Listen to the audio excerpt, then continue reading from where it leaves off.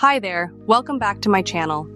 Today, I am beyond excited to share with you one of my all-time favorite recipes, the irresistible apple and caramel cake. Trust me, once you try this heavenly dessert, you'll be hooked.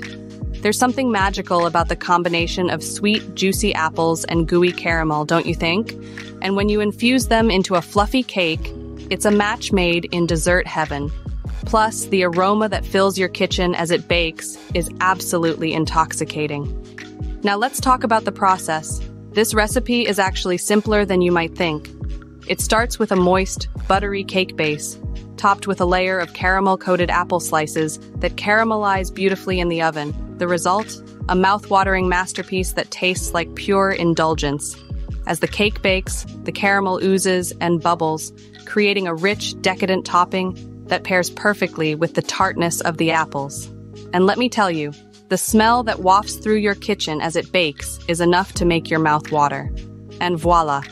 Our apple and caramel cake is ready to be devoured. The moment you cut into it, the layers of caramelized apples and moist cake are revealed, creating a visual feast for the eyes and a party for your taste buds. So there you have it, the recipe for the ultimate apple and caramel cake that will have your friends and family begging for more. I hope you enjoyed this video as much as I enjoyed creating this delectable dessert.